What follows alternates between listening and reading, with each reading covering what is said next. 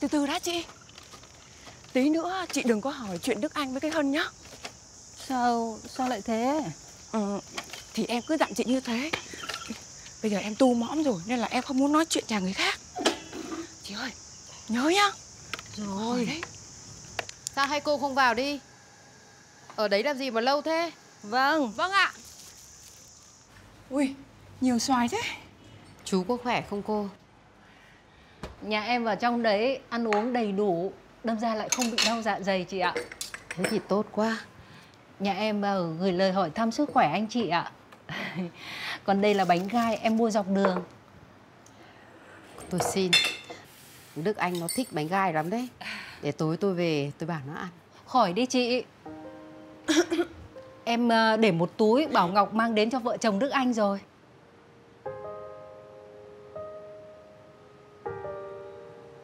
Chị ơi Em đã dặn chị là đừng có nhắc đến vợ chồng Đức Anh rồi mà. Sao lại đừng có nhắc?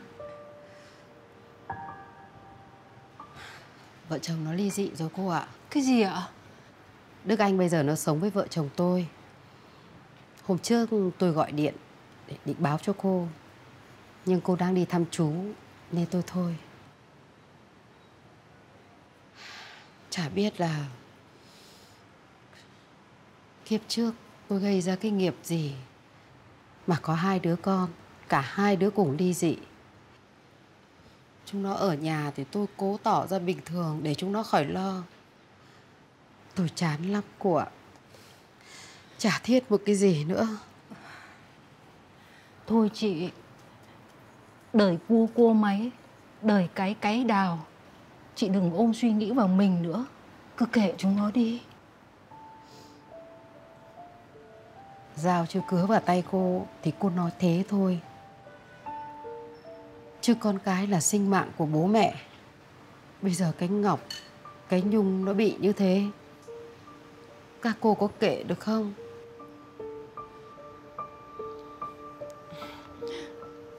Em gọt xoài xong rồi này. Ngọt lắm đấy. Thôi ăn đi. Ăn đi chị. À, Để em đi lấy xiên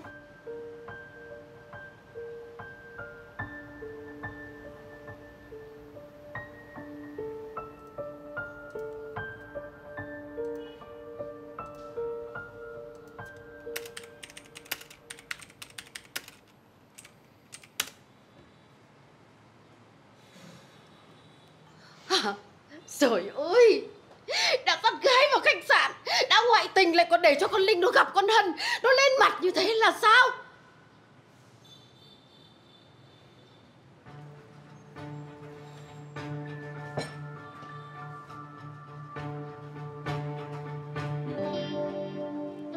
Alo.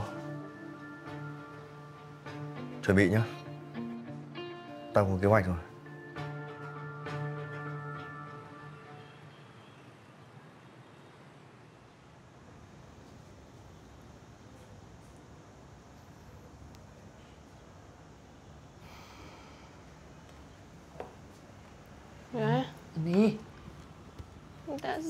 Mang ra đến tận đây rồi. Lại còn phải dâng tận mồm nữa. Tao nói rồi ốm đau dậy thì phải ăn uống đi cho nó khỏe chứ. Chua Nhậu thế. Chua cho có vitamin C. Đây, ăn tiếp đây. Lên. Đây, đây, đây.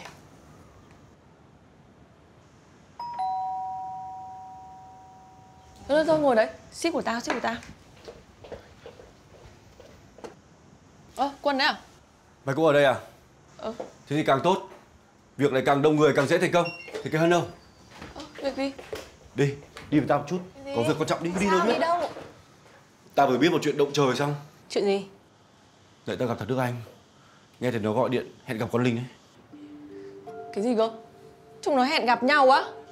Thế quả này là cặp với nhau thật à?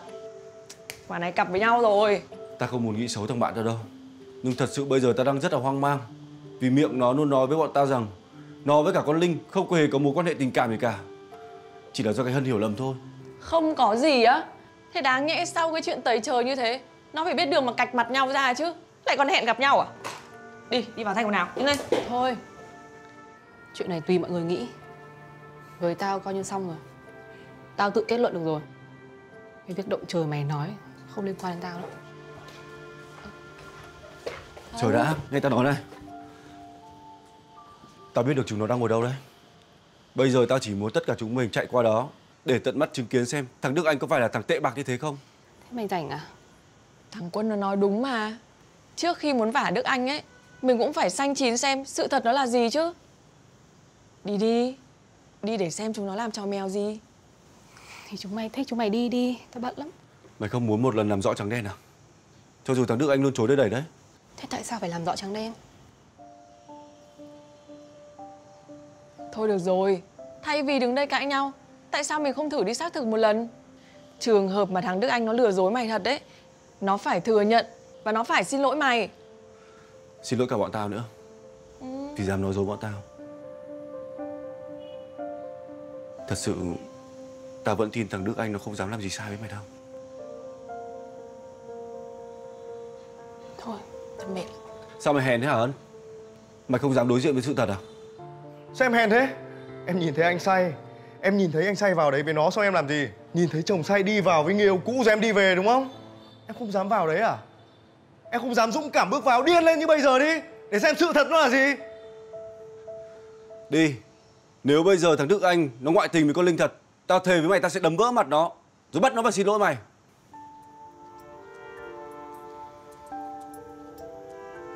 Thôi được rồi Tao đưa mày vào thay quần áo Mày đợi nó ở đây nhá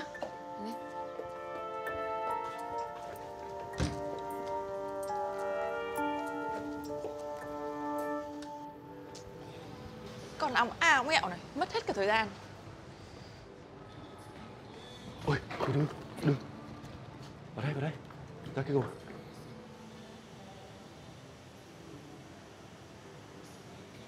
Dạ anh chị, cho em gửi menu Cho em trà đào ạ. Anh uống gì? cho em một nâu đá Dạ vâng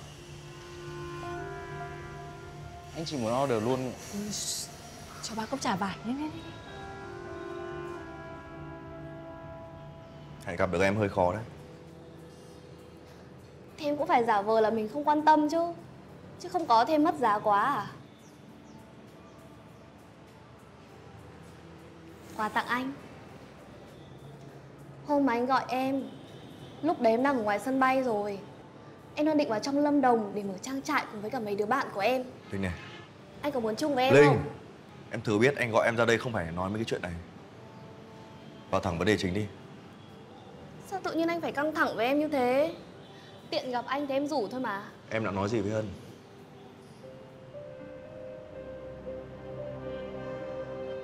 Em có gặp chị Hân đâu. Anh chị, cho em gửi đồ của mình đi Em cảm ơn ạ. Cảm ơn em Em cảm ơn Trả lời câu hỏi của anh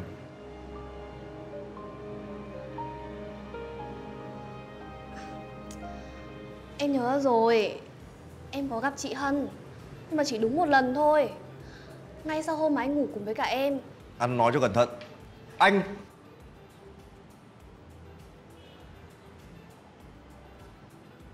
Anh không ngủ với em. Thì em cứ nói chung chung như thế. Em thừa biết đây hai chuyện hoàn toàn khác nhau. Đây là cách mà em nói chuyện với vợ anh à? Em gặp chị Hân bởi vì em muốn tốt cho anh mà Em muốn tốt cho anh. Em còn lạ gì tính của chị Hân nữa? Chị lúc nào cũng ghen tuông mù quáng mất kiểm soát. Hôm đấy anh đi cả đêm không về. Thế nào sáng hôm sau chị cũng sẽ nghi ngờ Xong chỉ chiết Rồi sao?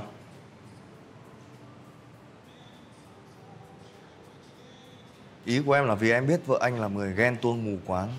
Nên Em cố tình làm như thế là vì muốn tốt cho anh. Thì đúng như thế mà. Đằng nào chị Hân cũng ghét em sẵn rồi Em chỉ không muốn anh phải chịu khổ thôi. Đừng vòng vo nữa. Rốt cuộc là em đã nói gì với Hân?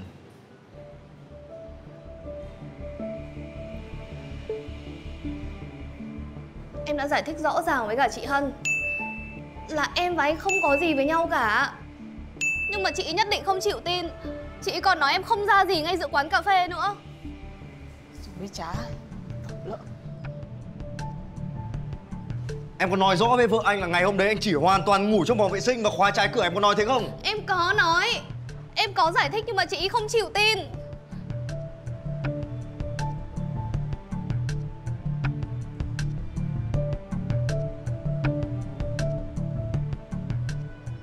Cho nên là em mới thấy thương anh Sống cùng một người quy chụp Cố chấp như thế Chắc là anh phải mệt mỏi lắm đúng không? Nào. Bình tĩnh lại. Hân Đúng là mệt mỏi thật.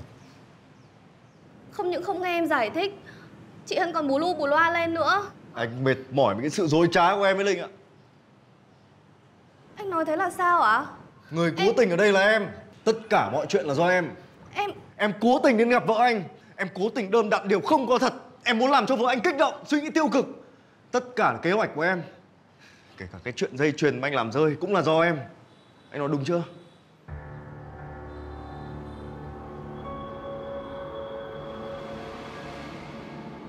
Anh nói đúng chưa?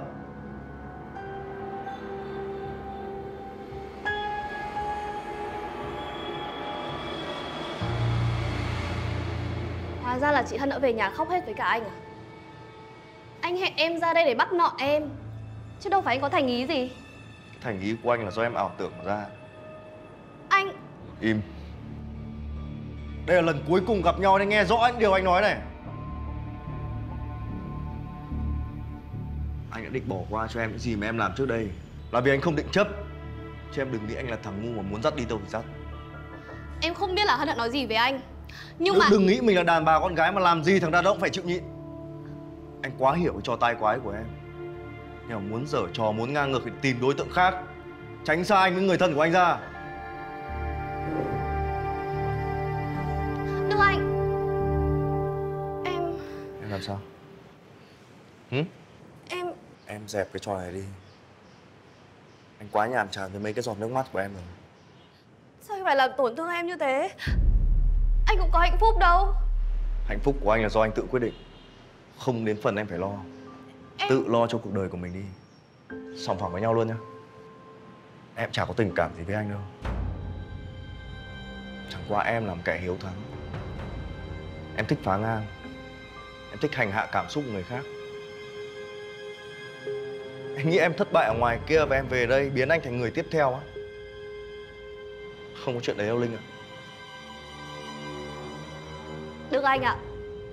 Anh đừng quá ảo tưởng về giá trị của bản thân mình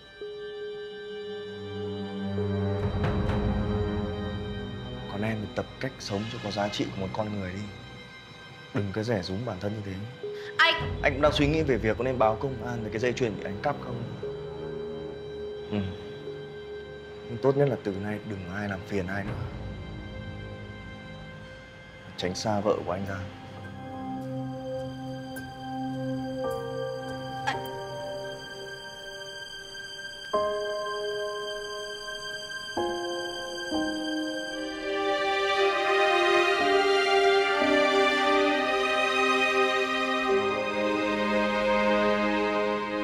bạn của mình được phết đấy Nhưng mà như nào nhỉ? Từ một cuộc đi bắt gian Bây giờ lại thành đi nghe giải oan à?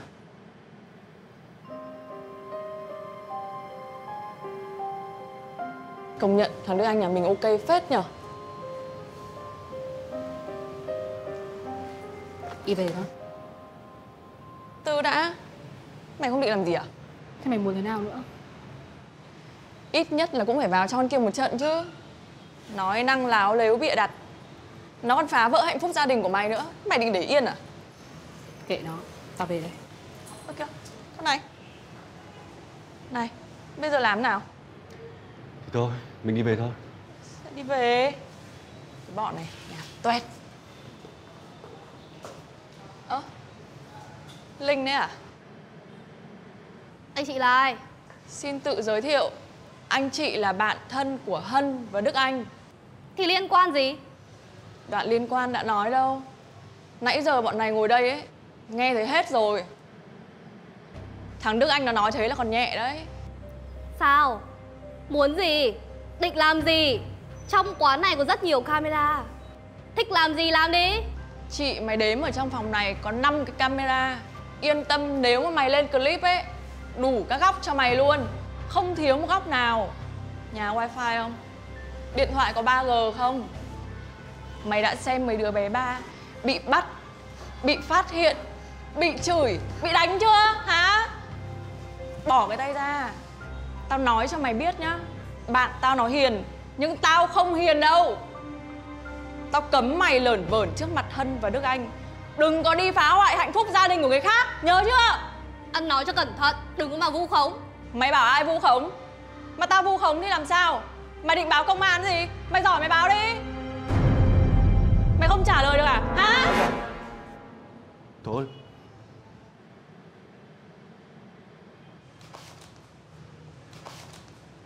Cà phê em tặng anh Đức Anh nhân dịp đi Lâm Đồng à? Cũng biết chọn cà phê đấy. Cũng thơm thơm. Chị bị điên à? Ôi Tao điên đấy. Tao còn muốn đổ công nước mày vào mặt mày Thôi không? được rồi. Được rồi Nghe tớ đi về. Nó sợ Ủa, rồi. Mặt nó mà sợ à? Mày nhớ cái mặt tao đấy. Mày đừng có đụng vào bạn tao nữa. Một lần nữa tao không tha cho mày đâu. Đi. Tao lấy túi đã. Mày nhớ đấy À được rồi. Đi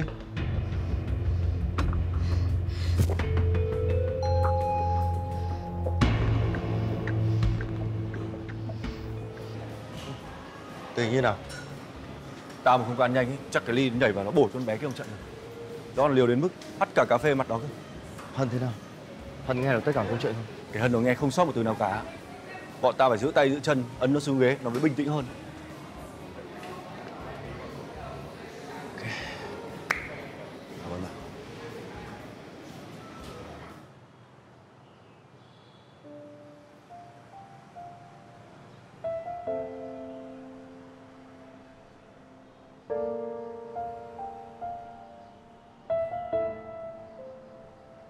Tình ở đây là em.